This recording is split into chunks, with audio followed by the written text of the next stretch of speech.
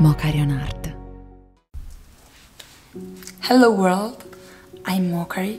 Welcome to my world of art.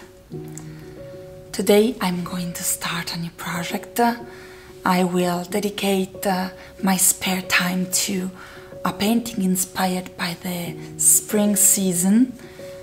I will be representing a couple of swallows dancing, uh, flying through the air in motion, making love, such things, such wild things. And I sincerely hope you will love the journey. Well, enjoy the process with me. well, I'm going to paint on a rounded circle canvas as you can see.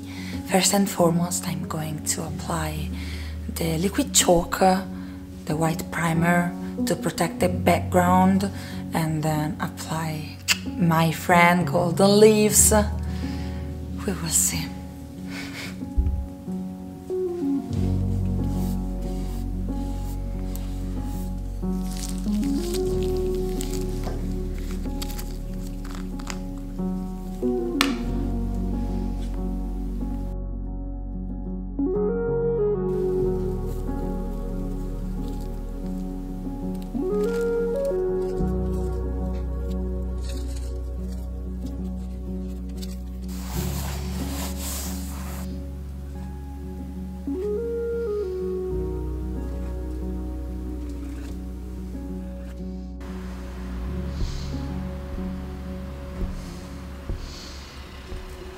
今からちょっと日本語で話しましょう。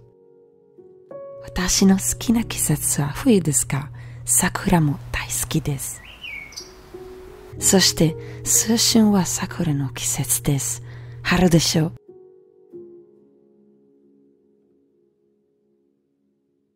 今回も私の日本語レベルはまだ子供のレベルなので、主に英語で話します。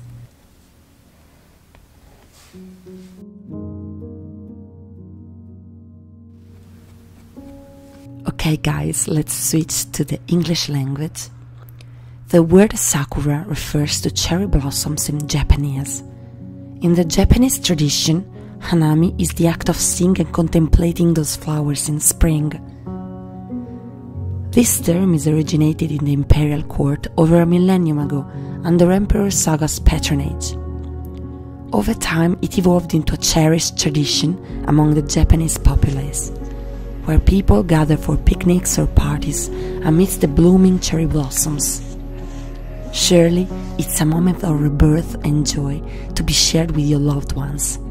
Here is a quite famous haiku written by Kobayashi Issa in the Edo jidai or Edo period that talks about sakura. Hanasaso, sakura ga furu, sakuranbo, which can be translated as inviting blossoms. Cherry blossoms are falling. Cherries.